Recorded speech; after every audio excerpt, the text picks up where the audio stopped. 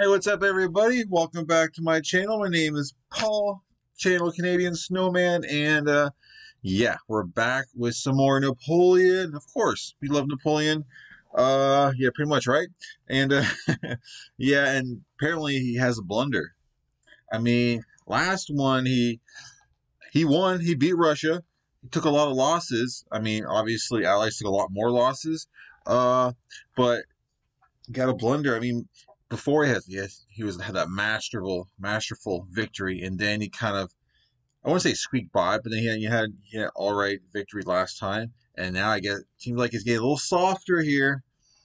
I'm not saying he's a bad general or anything or emperor. I'm just saying every come on every uh good uh we call it. Good commanders got to have you know a loss here that they have that they can come back from you know right? You can't all be like all roses and chocolate and all whatnot you got to have you know you got to have some controversy in there. It makes it more interesting. You can't win everything right? I, I mean a blunder. I mean he might not even lose this. It, it could just be like i don't know a little mistake but then he ends up actually still winning the battle. I'm not sure what to expect. It said blunder in the title, and like I said, I, when I search for these little uh, little pictures here before I do my videos, I uh, I Google like Napoleon's Great Blunder. This is one of the pictures that popped up. He was all sad, so I was like, ah, I'd throw that on there. But uh, anyways, we're about to jump into the video. And like always, what the? I didn't even ask Google to do anything, and it started talking to me. Google seems to be quiet in the corner scaring the crap out of me. All right, uh, yeah, what was it doing for Google rudely interrupted me? Google, stop. Okay. Hopefully Google leaves us alone. But anyways, yeah, please hit the like and subscribe, guys. Please and thank you. And we're gonna get to this battle. Battle. Oh, we got stretch. Grab your drink. Um, I'm almost at a Kit Kat, but my drink?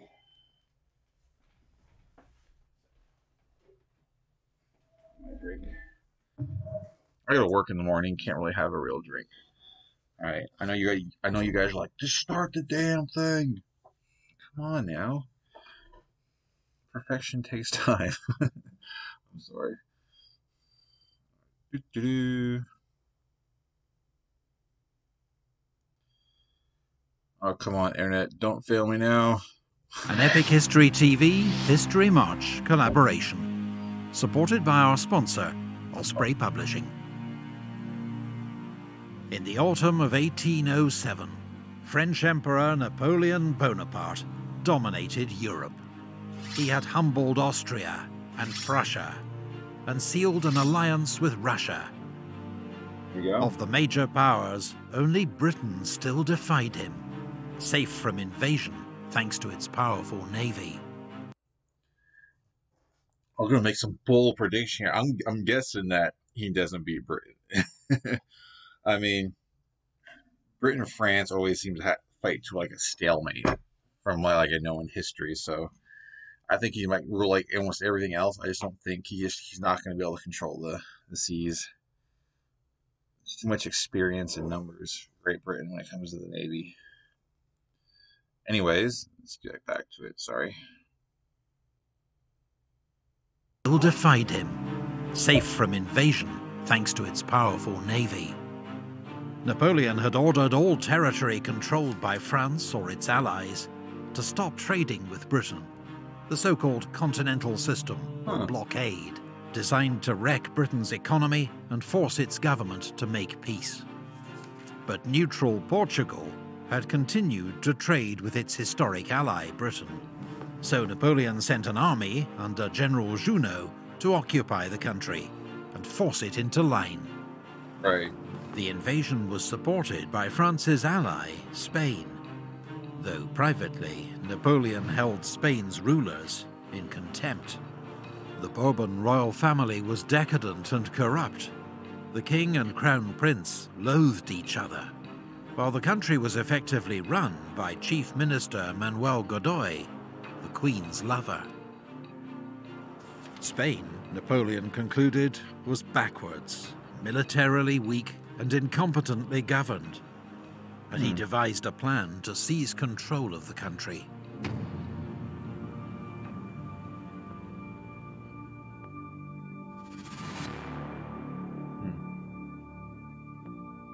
In the spring of 1808, under the pretext of guarding Spain against the British, French troops took up strategic positions around the country.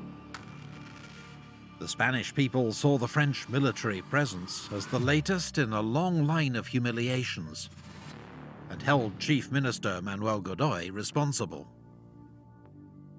There were riots at the palace of Aranjuez. Godoy was nearly lynched. Huh. Napoleon invited the Spanish royal family and Godoy to take refuge in the French city of Bayonne and sent Marshal Murat and 50,000 troops to restore order in Madrid. Oh, wow. But on the 2nd of May 1808, the people of Madrid rose up against Murat's soldiers.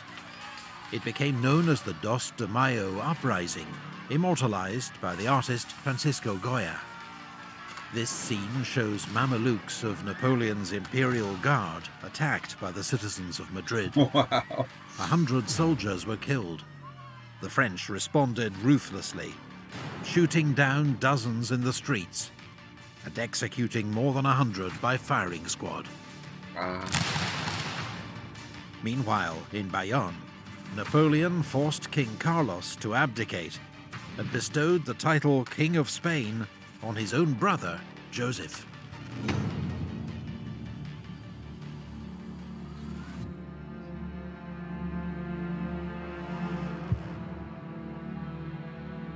That summer, as Napoleon forced a new modernizing constitution on Spain, and his brother Joseph entered Madrid as its new king, the Spanish reacted with fury.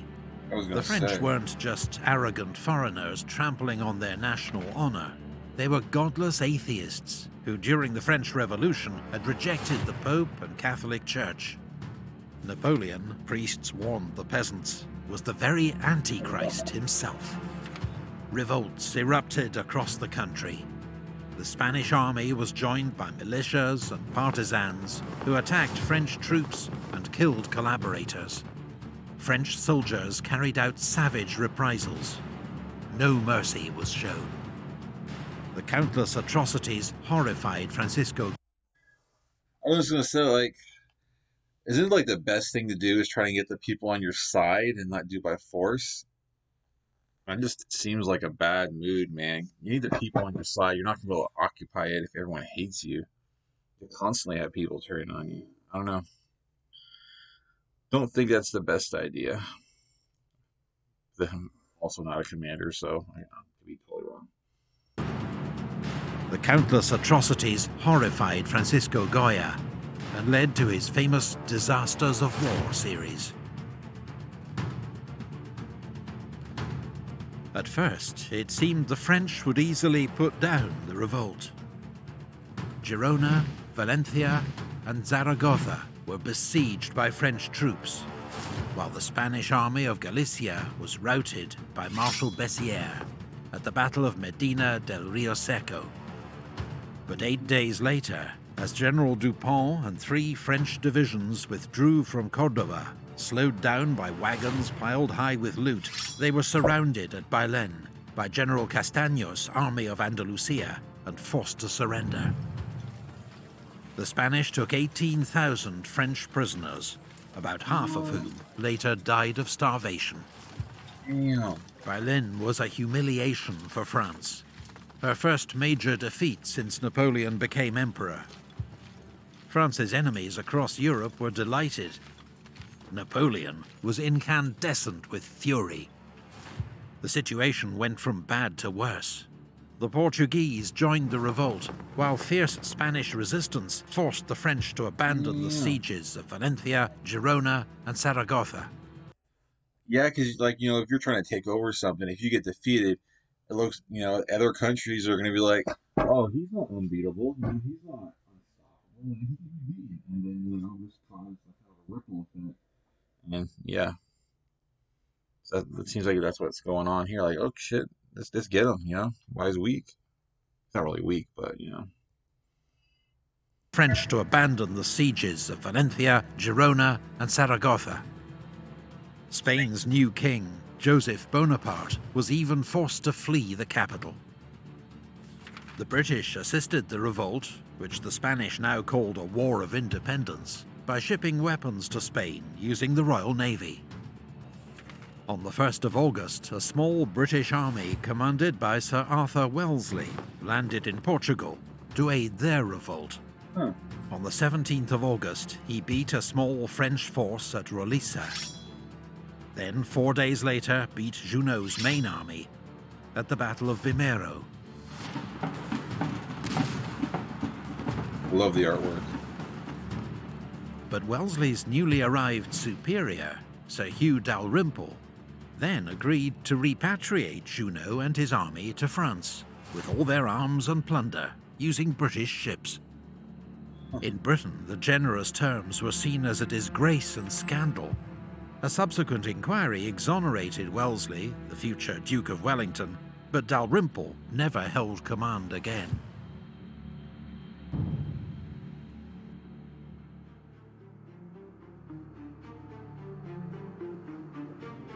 Hmm. Napoleon decided the only way to sort out the situation in Spain was to go there himself. Exactly. He assembled 130,000 reinforcements, including many of his best troops, and on the 7th of November, led a second invasion of Spain. Most Spanish troops were inexperienced, were often badly equipped and led, and their armies had no coherent strategy. They were no match for the Grande Armée, which burst across the Ebro River and inflicted heavy defeats on the Spanish at Burgos and Tudela. At Tudela, Marshal Lannes' Third Corps avenged the defeat at Bailén by smashing the army of General Castaños, sending it fleeing in two directions. 4,000? Napoleon pushed on rapidly. North of Madrid, 8,000 Spanish held the mountain pass at Somosierra. Napoleon, impatient to break through to the capital, ordered forward the Polish Light Horse of the Guard. In an attack of almost suicidal bravery, they charged the Spanish guns head-on and enabled the French to take the pass.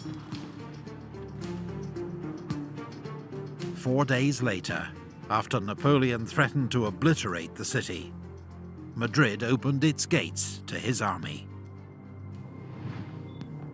Unaware of the disaster engulfing Spanish forces, a 20,000-strong British army, commanded by Sir John Moore, had just arrived in Salamanca oh, after a 300-mile march from Lisbon, with another smaller force en route from Coruña. The British army was inexperienced, but in contrast to most Spanish forces, it was well trained, organised, and led. Yeah. As news reached Moore of the Spanish collapse, he nevertheless planned to divert French forces by attacking Marshal Soult's isolated Second Corps and threatening Napoleon's communications to Burgos and France. At Sahagun on the 21st of December, the British 15th Hussars advanced overnight through winter frost and made a dawn attack on a French cavalry brigade, routing it in one great charge. but as Moore prepared a full-scale attack on Soult's corps, he received news that Napoleon was advancing rapidly towards him with his main say. army from Madrid. I was wondering how long it was going to take for Napoleon to turn around.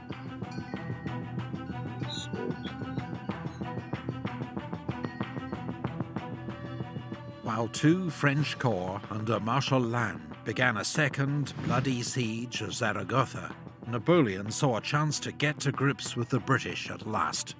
Intending to trap Moore between his own forces and Soult's Second Corps, he force-marched his troops over the icy Guadarrama Pass in the midst of a blizzard.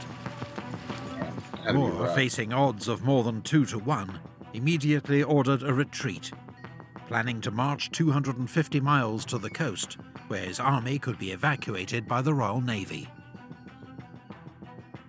For both sides, the race to the sea was an exhausting slog through mountains, mud, and bitter cold.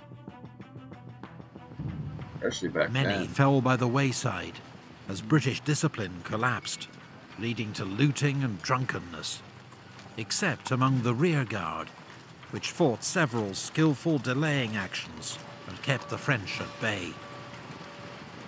Soldiers of Britain's elite 95th Rifles were prominent in these skirmishes. This specialised light infantry regiment wore green uniforms for better concealment and were one of the few units on any side armed with rifles. Huh. Unlike the standard smoothbore musket, rifles had spiral grooves in the barrel that spun the bullet as it was fired, Yep. making them slower to load, but much more accurate. In one legendary incident during Moore's retreat at Cacabelos, rifleman Tom Plunkett picked out and shot dead a French general at 400 yards. Some Wow. say further. Wow, man. That's long. Thanks to the skill of the rear guard and the Back then. desperate pace of the retreat, the British kept one step ahead of the French.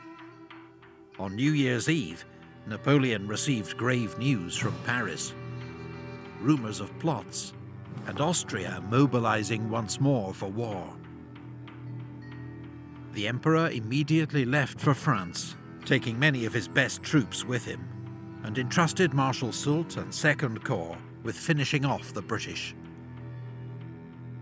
The pursuit continued, but on the 11th of January 1809, Moore's ragged army reached Corunna. Here we go. For Sir John Moore's exhausted army, the Spanish port meant supplies, rest, and the prospect of rescue. But few ships were there to meet them on the 11th. Fortunately, the British had been able to blow up bridges behind them to delay Marshal Soult's advance. And three days later, on the 14th of January, the naval transports arrived, allowing Moore to begin embarking his cavalry and artillery. But the very next day, Soult's army appeared on the hills south of Uh-oh. taking up positions on the heights of Peñasquedo, where he sited his main battery of cannon. Half of Moore's army deployed in a defensive line two miles south of the city, with two divisions held back to protect his right flank. Both armies were roughly 16,000 strong.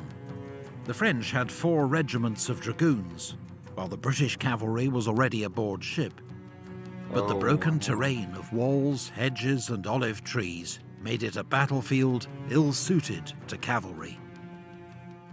Soult's plan was to attack the British right flank and trap Moore's army against the sea. Around 2 pm, the French artillery opened fire. Then Mermet's infantry division advanced, supported by La Houssaye's dragoons on his left. Moore had been unsure if Soult would attack, and had just ordered Paget's division to begin embarkation. Now he hurriedly cancelled that order, ordering Paget instead to bring up his men to reinforce his open flank, and Fraser's division to take up position on the heights of Santa Margarita. Okay. The French advanced through hedges and over walls, with heavy firing from skirmishers on both sides. Then the British counterattacked. The 42nd Highlanders and 50th Foot charged into the village of Elvina Oh, and drove the French out. What? But in confused fighting, they in turn were soon pushed back to their Okay. own lines. Sir John Moore was close to the front line, observing developments, urging on officers and men.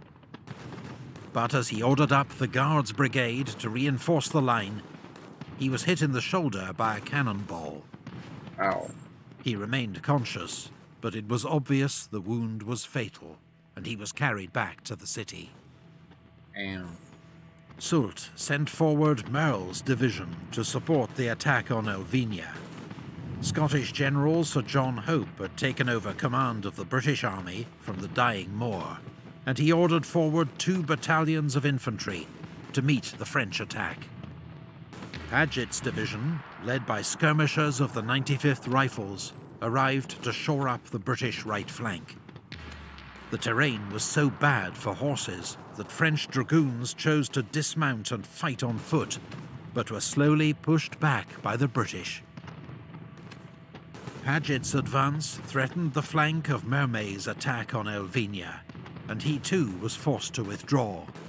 Wow. While an attack on the right by Delaborde's infantry secured a foothold in the village of Piedra Longa, but got bogged down in heavy skirmishing. Around 6 pm, dusk fell, and firing died out across the battlefield. Yeah. News that the British line had held reached Moore shortly before he died in Corunna, around 8 pm. That night, the British lit campfires and posted sentries, then silently withdrew to Corunna to begin embarkation. The well, next morning, the French found the enemy positions abandoned. But they were slow to take advantage. It wasn't until noon that they were able to bring up six cannon and get them into position overlooking the Bay of Corunna. The British had almost completed their evacuation by the time the French guns opened fire. In a hurried departure, a few British transports ran aground and two were set on fire, but overall, losses were light. A small Spanish garrison held Corunna, waiting until the British fleet had escaped to sea. Man, like, what a missed opportunity, man. Like, why did it take so long to have, man, I think first light? Like, come on, guys, let's go. Let's get them on the run, you know, because, dang great chance to get the get the English while they ran away. Waiting until the British fleet had escaped to sea before surrendering.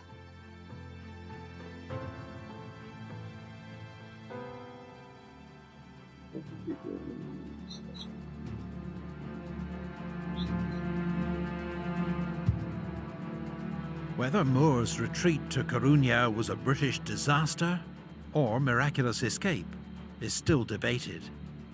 And did he abandon Spain in its hour of need?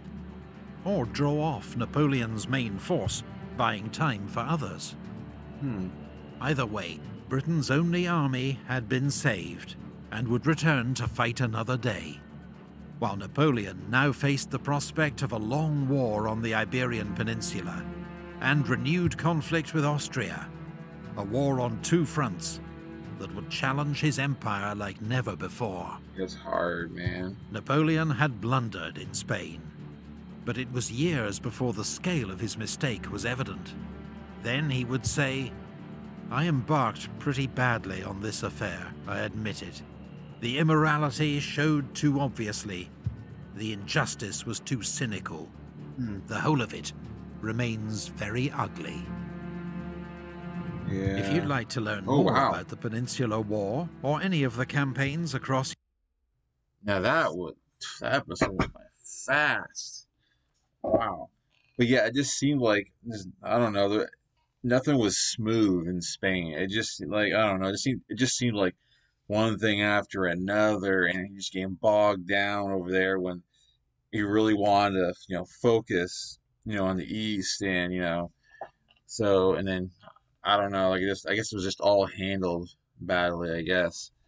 Uh, but anyways, still like another great episode. It was kind of, it was cool to have like the British kind of involved in this one too. I'm assuming we're going to see a lot more of that uh, to come. Uh, but it looks like we're going to go. Excuse me, more on the uh, the East Coast, well, not the coast, but um, east side. Uh, called? Uh, yeah, what's the country called? Austrian now. I don't know. I'm sorry.